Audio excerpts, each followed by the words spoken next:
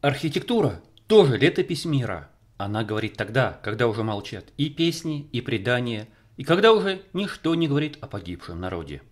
1831 год. Николай Васильевич Гоголь. Здравствуйте, дорогие друзья! В комментариях часто спрашивают, чего мы постоянно показываем эти церкви, как будто показать больше нечего. А все очень просто.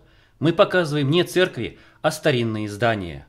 Уже который год этими фильмами мы пытаемся обратить внимание зрителей на очевидные для нас вещи. Это архитектурные элементы и способы строительства этих зданий. И чтобы не быть голословными, показываем на конкретных примерах. И вот еще один яркий пример приспосабливания здания для конкретных целей. Церковь Вознесения Господня в оружейном переулке города Тулы. Это настолько явный пример, что пройти мимо мы просто не могли. Начнем, как всегда, с краткой официальной исторической справки. Возведение существующего ныне храма длилось более 30 лет. В 1755 году первый этаж храма был выстроен и освящен. Верхний из-за недостатка финансирования оставался недостроенным. В 1779 году строящееся здание пострадало от пожара. Столь протяженные сроки строительства объясняются использованием различных архитектурных стилей – классицизма и барокко – в 1787 году храм был окончательно достроен и 2 октября того же года освящен. Рядом с храмом была возведена колокольня с шестью колоколами. Храм имел одну позолоченную главу, крыша была крыта белым листовым железом. Иконостас был позолоченным, а все иконы были написаны знаменитым мастером того времени Григорием Ивановичем Белоусовым. В 1834 году на втором этаже случился пожар, во время которого сгорел весь иконостас, написанный Белоусовым. А новый появился там лишь в 1844 году. В 1883 году при храме была открыта церковно-приходская школа. В начале 1930-х годов храм был закрыт. Колокольня впоследствии снесена. Церковь Вознесения является памятником истории и культуры федерального значения. Здание поставлено на госохрану в 1960 году, согласно постановлению Совета министров РСФСР. В 1961 году в бывшем храме находилась мастерская «Союз шахта осушения». В 1992 году Вознесенскую церковь возвратили Тульской епархии. В настоящее время при храме работают приходская школа и библиотека. Конец краткой официальной исторической справки. Здесь сразу хочу отметить такие важные моменты. Первое. В 1787 году крыша храма была крыта белым листовым железом. Не уточняется, прокатное это железо или листобойное, просто скользь упоминается, что оно было. То есть получение листового железа в 1787 году проблемы не было. Второе. Как всегда снесена именно колокольня. Третье. Обычный кирпичный храм – в городе оружейников строился целых 32 года. При этом известно достаточно много примеров, когда храм сопоставимых размеров в далекой глуши строится всего за один год. Например, Церковь Успения в Рязанской области, которую мы посетили во время экспедиции 2020 года. Четвертое. Церковь имеет два этажа. При этом это не верхний и нижний храмы, а именно два этажа одной и той же церкви. Если кто не знал, то при наличии в церкви нижнего храма она называется иначе, чем верхний, и ее алтарь освящен в честь другого святого или праздничного события.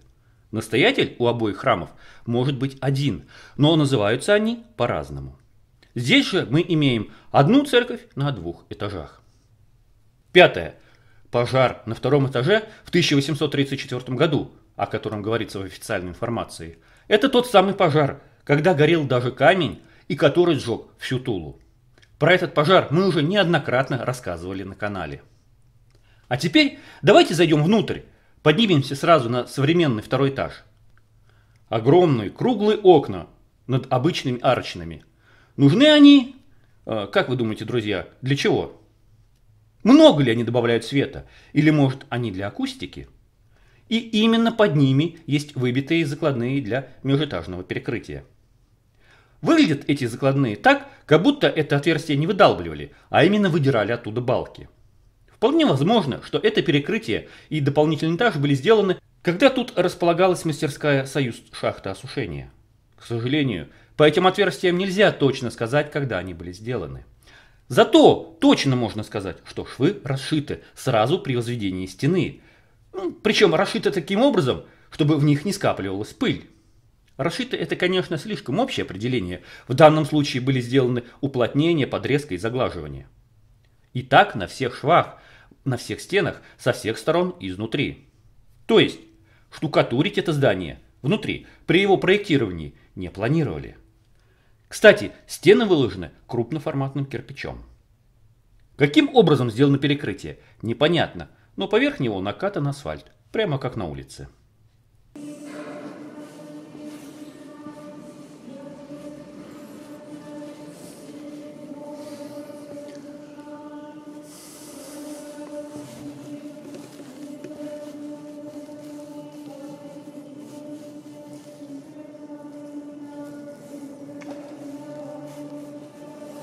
Куполе есть отверстие в световой барабан. Когда мы облетали это здание на квадрокоптере, то видели запотевшие окна. Следовательно, туда зимой поднимается тепло. А если учесть, что в этот момент здание было почти пустое, то можно представить, сколько конденсата образуется на окнах, когда храм полон людей. И вся эта роса стекает вниз по стенам. Мало того, что это разрушает внутреннюю роспись, так она еще капает людям на головы. Триумфальная арка – это так называемые северные, царские и южные врата. Если кто не знал, то в Риме есть точно такая же, только отдельно стоящая. Да и не только в Риме, таких арок полно по всему миру. Совпадение? С запада, прямо над современным входом, нас встречает всевидящее око. Нет, не такое. Скорее такое. Кстати, этот фронтон с оком новодел – так же, как фронтон с орнаментом на южном фасаде, потому что кирпичная кладка, которую мы видим сейчас, выполнена из современного кирпича, а глаз и орнамент – это обычная гипсовая отливка. Более того, абсолютно все фигурные элементы наружного оформления, вся эта лепнина – это обычные гипсовые отливки, и местами они уже отвалились. Например, капители на угловом пилястре и наверху колонны на куполе. Снаружи здание было штукатурено – Судя по закопченным кирпичам, становится понятно, что штукатурили после некоторого периода использования без штукатурки. Более того, прекрасно видно заплатки на наружной стене, полностью выполненные из современного кирпича на цементе. Одна из таких заплаток даже сравняла угловую пилястру. В наше время отопление храма организовано трубой в окошко. Это уже стало классикой так как здание – памятник архитектуры, и пробивать дымоходы в стенах, как делали в 19 веке, сейчас никто не позволит. Вот и выводит дымоходы в ближайшее окно. По воздухозаборной трубе при точной вентиляции становится ясно о наличии нижнего этажа у этого здания. Особо хочу обратить ваше внимание на стальные петли, торчащие из стен по всему периметру стен. То, что это именно петли, легко понять по этому снимку. Сейчас за одной из таких петель закреплен натяжной трос коммуникационных кабелей. А когда-то в эти петли были вставлены вот такие клинья. И петли эти – не что иное, как концы стяжек. Вот и получается, что разработчики сочли необходимым в избежании разрушения стен усиливать их стяжками. А пользователи спустя какое-то время решили, что такой необходимости нет, и клинья убрали.